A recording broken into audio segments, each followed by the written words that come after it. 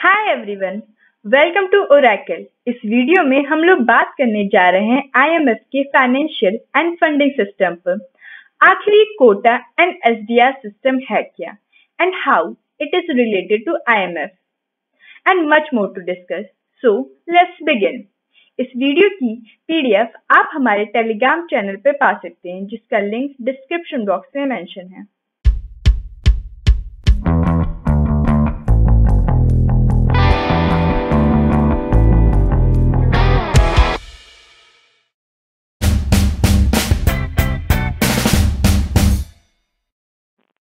IMF यानी international monetary fund की बात करें तो ये एक इंटरनेशनल फाइनेंशियल ऑर्गेनाइजेशन है, जिसका headquarter United State of America के कैपिटल वॉशिंगटन डीसी में है। करेंटली इसमें 189 कंट्रीज़ मेंबर हैं। इस ऑर्गेनाइजेशन के फाइनेंशियल सिस्टम का तरीका बाकी ऑर्गेनाइजेशन से काफ़ी डिफरेंट है। इसमें एक कोटा सिस्टम होता है, जिसके थ्रू कंट्रीज़ अपना कंट्रीब्यूशन देती हैं। इस पे आगे डिटेल से बात करेंगे। उससे पहले आईएमएफ के बारे में कुछ डिटेल से जान लेते हैं। इसकी स्थापना 1944 में हुई थी और प्रेजेंटली इसमें 189 मेंबर कंट्रीज़ हैं। बात करें स्टाफ मेंबर्स की तो इसमें स्टाफ मेंबर इसके स्टाफ मेंबर्स में 150 कंट्रीज़ के लोग आते हैं। प्रेजेंटली इसमें 24 एग्जीक्यूटिव डायरेक्टर्स हैं, जो 189 कंट्रीज़ को रिप्रेजेंट करते हैं। बात करें लोन की तो IMF 1 trillion US dollar amount का लोन अपने मेंबर कंट्री को दे सकता है, जिसका interest rate low income countries के लिए ज़ीरो परसेंट होता है। बात करें आईएमएफ के फ़ंक्शंस की तो ये इंटरनेशनली कंट्रीज़ को फाइनेंशियल बेसिस पे एक साथ लाती है। इन सिंपल वर्ड्स ये एक इंटरनेशनल बैंक के जैसे है, जहाँ कंट्रीज़ अपना कुछ अमाउंट अपने जीडीपी के हिसाब से जमा करती है और लो इनकम कंट्रीज़ आर्थिक दिक्कतों के दौरान अपने देश के लिए फाइनेंशियल लोन लेती है। पर ध्यान दें, इसके terms and norms normal bank से काफ़ी डिफरेंट होते हैं। यह सीधे शब्दों में समझाने के लिए मैंने इसका कंपैरिजन बैंक से किया है। इसके साथ ही साथ आईएमएफ इंटरनेशनल ट्रेड और सस्टेनेबल इकोनॉमिक ग्रोथ को भी प्रमोट करती है। बात करें हेड्स ऑफ़ द ऑर्गेनाइजेशन की तो इसकी मैनेजिंग डायरेक्टर हैं क्रिस्टलिना जॉर्जीवा जो बल्गेरिया से हैं और चीफ इकोनॉमिस्ट हैं गीता गोपीनाथ फ्रॉम इंडिया अब जानते हैं आईएमएफ के कोटा सिस्टम के बारे में। किसी भी कंट्री का कोटा सिस्टम बेसिकली उस कंट्री का वर्ल्ड इकोनॉमी में पोजीशन क्या है, ये बताता है। जब भी कोई नई कंट्री आईएमएफ को ज्वाइन करती है तो उसे एक इनिशियल कोटा दे दिया जाता है। इस कोटा का डिसीज़न उस कंट्री की इकोनॉमिक को देख के किया जाता है और ऐसी कंट्री जो एक जैसी इकोनॉमिक साइज़ रखती हैं, उन्हें सेम कोटा दिया जाता है। यानी कि एक कोटा, दो या उससे अधिक कंट्रीज़ भी रख सकती है। यहाँ आप देख सकते हैं कि ये टॉप टेन कंट्रीज़ हैं जो आईएमएफ में अपना सबसे ज़्यादा कंट्रीब्यूशन देती हैं। जितना ये कंट्रीब्यूशन देती हैं, उतना आईएमएफ के डिसीज़न मेकिंग में इनका हिस्सा होता है।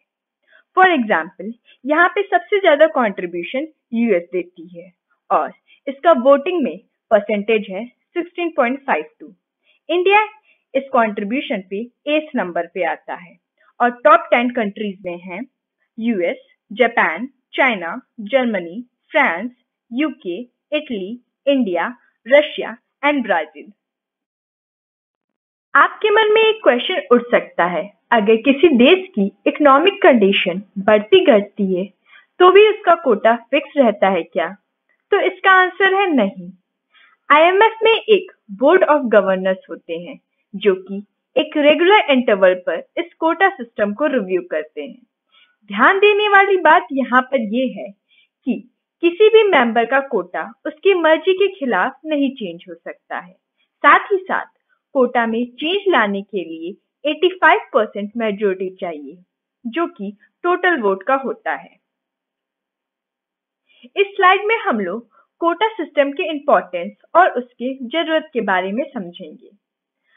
पहला है रिसोर्स कंट्रीब्यूशन कोटा सिस्टम की मदद से ये फिक्स्ड हो जाता है, कौन सी कंट्री आईएमएफ में कितना कंट्रीब्यूट करेगी।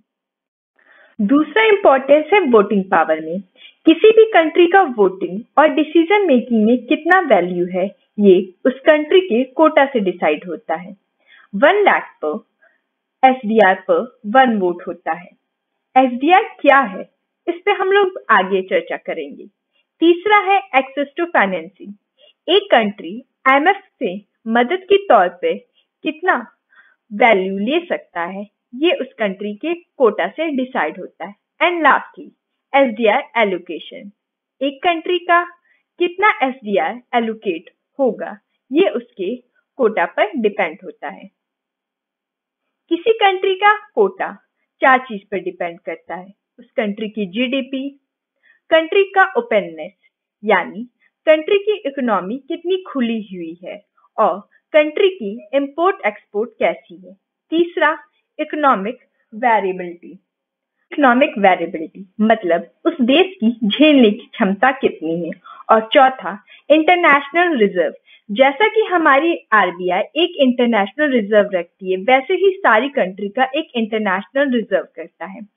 बात करें परसेंटेज की तो जीडीपी का कंट्रीब्यूशन सबसे ज़्यादा 50 परसेंट ओपननेस का 30 परसेंट इकोनॉमिक वेरिएबिलिटी का 15 परसेंट और इंटरनेशनल रिज़र्व का सबसे कम 5 परसेंट इन चारों को कैलकुलेट करने के बाद नीचे दिए गए फॉर्मूले में रखा जाता है और उसके बाद उस कंट्री का। कोटा निकाला जाता है। बात करें एसडीआर की, यानी स्पेशल ड्राइंग राइट की तो ये आईएमएफ की अकाउंट यूनिट है, यानी ये एक तरीके से आईएमएफ की करेंसी है। आईएमएफ वर्ल्ड के किसी भी करेंसी पर काम नहीं करता है। विभिन्न देशों को भी उनके कंट्रीब्यूशन को एसडीआर में बदलने के बाद ही कोटा मिलता है। एसडीआर का क्रिएशन 1969 में हुआ था। एसडीआर इन फाइव करेंसीज पे डिपेंड करता है। US dollar euro Chinese renminbi Japanese yen और ब्रिटिश पाउंड एसडीआर केवल आईएमएफ की ही नहीं बल्कि कुछ अन्य अंतरराष्ट्रीय संगठनों की भी यूनिट ऑफ़ अकाउंट है। अब आप सोच सकते हैं कि तो करेंसी के रूप में इसका नाम तो कभी सुना नहीं? वेल well, हाँ आप सही है। एसडीआर कोई करेंसी नहीं है। बल्कि ये एक यूनिट है, जिसे आईएमएफ के मेंबर्स लेन देन के लिए यूज़ करते हैं। अब इस एस के वैल्यू को निर्धारित कैसे किया जाता है? इसकी वैल्यू यूएस डॉलर के एक्सचेंज रेट से निर्धारित की जाती है, जो कि 12 पीएम पर होती है, और फिर इसे आईएमएफ की वेबसाइट पे पोस्ट किया जाता है। हाँ अब तक तो आप लोग जान गए होंगे कि लो इनकम कंट्री से IMF zero percent interest rate charge करता है। पर अगर कोई अन्य कंट्री लोन लेना चाहे तो इसके लिए आईएमएफ ने एक इंटरेस्ट रेट चार्ज निर्धारित कर रखा है, जो कि नॉन कंसेशनल कंट्रीज़ ले सकती है और अपने क्रेडिटर कंट्रीज़ को उसका इंटरेस्ट रेट देती है। इस स्लाइड में हम लोग इंटरेस्ट रेट की वैल्यू को देख सकते हैं, जो कि 2009 से 2020 तक घटती बढ़ती रही है। अच्छा तो अगर पूरी दुनिया में सब कुछ स्टेबल हो जाए और कोई लोन की लेन देन ना हो तो एस क्रैश हो सकती है? इसका जवाब है नहीं। आईएमएफ में जितने भी पार्टिसिपेटिंग कंट्रीज़ हैं, वो एसडीआर को खरीदती और बेचती रहती हैं। और अगर आईएमएफ को लगता है कि एसडीआर का फ्लो प्रॉपरली नहीं हो रहा है तो वो मेंबर कंट्रीज़ को सजेस्ट करती हैं कि वो एसडीआर खरीदें। आईएमएफ के जो लोन होते हैं, उनके भी टाइप होते हैं। एक है फ्लेक्सिबल क्रेडिट लाइन ये ऐसी कंट्रीज़ लेती हैं जिनकी पॉलिसी काफ़ी बढ़िया होती है और कंट्रीज़ ये लोन तब लेती हैं जब उनको लगता है कि वो कोई प्रॉब्लम में जाने वाली हैं। एक्सटेंडेड क्रेडिट फैसिलिटी ये उन कंट्रीज़ के लिए है जिन्हें लगता है कि आने वाले लंबे टाइम के लिए वो प्रॉब्लम में जा सकती हैं और उन्हें बैलेंस ऑफ़ पेमेंट से जूझना पड़ सकता है। बैलेंस ऑफ़ पेमेंट मतलब ये कंट्रीज़ जो इंपोर्ट करती हैं या कर रही हैं, उसका पैसा चुकाने में असमर्थ हैं। तीसरी है स्टैंड बाई क्रेडिट फैसिलिटी ये लो इनकम कंट्रीज़ को लोन देती है। और आखिरी में रैपिड फाइनेंसिंग इंस्ट्रूमेंट ये उन लो इनकम कंट्रीज़ के लिए जिन्हें अर्जेंटली काफ़ी फाइनेंशियल सपोर्ट की ज़रूरत है, नहीं तो उनकी इकोनॉमी क्रैश भी हो सकती है। अब सवाल ये है कि क्या आईएमएफ सिर्फ़ एसडीआर पर ही निर्भर रहता है? तो नहीं आईएमएफ ने गोल्ड में भी काफ़ी इन्वेस्टमेंट कर रखा है और ऑफिशियली ये वर्ल्ड के सबसे बड़े गोल्ड होल्डर्स में से एक है। प्रेजेंटली आईएमएफ ने करीबन 90.5 मिलियन आउंस यानी 2814 मेट्रिक टन का गोल्ड इन्वेस्टमेंट कर रखा हुआ है और ये गोल्ड विभिन्न चैनलों से प्राप्त है। बात करें 1944 की, जब आईएमएफ का गठन हुआ था तो कोटा का 25 परसेंट सब्सक्रिप्शन गोल्ड में हुआ था। जैसे जैसे कोटा इंक्रीज होता गया आईएमएफ का गोल्ड भी इंक्रीज होता गया। इस तरीके से आईएमएफ के गोल्ड का सबसे बड़ा सोर्स ये है। जितनी भी पेमेंट ऑफ़ चार्जेस यानी इंटरेस्ट जो कंट्री आईएमएफ को देती है, वो नॉर्मली गोल्ड में होती है। इसके साथ ही साथ यदि कोई कंट्री किसी दूसरे कंट्री की करेंसी प्राप्त करना चाहती तो वो इसके लिए आईएमएफ के गोल्ड का यूज़ करती है। अच्छा ये सब तो ठीक है। लोन लेना, लोन देना, पर अगर कोई कंट्री लोन लेने के बाद वापस ना करे तो इस स्थिति में आईएमएफ क्या करती है? तो हम बता दें आईएमएफ ऐसी कंट्री को लोन नहीं देती है भविष्य के लिए, जब तक कि वो पुराना लोन रिपे न कर दे। और ऐसी कंट्रीज़ को आरियाज का टैग भी दिया जाता है। आरियाज यानी बकाया राशि।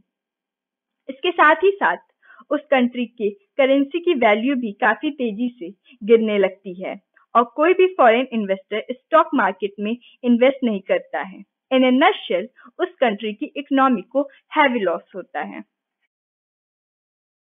अच्छा आईएमएफ के बारे में हम लोग ने सब कुछ जान लिया है। नाउ आईएमएफ और वर्ल्ड बैंक में अंतर क्या है?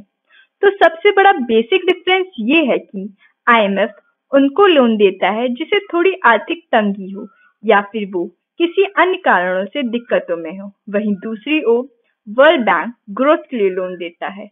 वर्ल्ड बैंक कंट्रीज़ के ऐसे प्रोजेक्ट्स में इन्वेस्ट करता है जहाँ रिटर्न काफ़ी अच्छा मिले। एग्ज़ाम्पल के तौर पे, एक आदमी है जिसके पास वेल सेटअप दो फैक्ट्रीज हैं और वो एक और फैक्ट्री खोलना चाहता है। तो वो फाइनेंशियल हेल्प के लिए वर्ल्ड बैंक के पास जाएगा। वहीं दूसरी ओर दूसरे आदमी का बिज़नेस एकदम डूब रहा है। शायद वो उसमें थोड़ा इन्वेस्टमेंट कर दे तो बिज़नेस सही हो जाए। ऐसी स्थिति में वो मदद के लिए आईएमएफ के पास जाएगा। आईएमएफ लोन दे के स्टेबिलिटी यानी स्थिरता लाता है। वहीं वर्ल्ड बैंक ग्रोथ लाता है। आईएमएफ एक सिंगल ऑर्गेनाइजेशन है, जो चार तरीकों से लोन देता है। वहीं वर्ल्ड बैंक में दो मेजर इंस्टीट्यूशन हैं। आईबीआरडी और IDA IBRD stand for international bank for reconstruction and development and IDA stand for international development association finally IMF में 189 कंट्रीज़ है, वही वर्ल्ड बैंक के आईबीआरडी में 189 कंट्रीज़ और आईडीए में 172 कंट्रीज़ हैं। इसके साथ ये वीडियो यहीं समाप्त होता है। वीडियो के कंटेंट अगर अच्छे लगे हैं तो please do subscribe and comment your suggestion below thanks for watching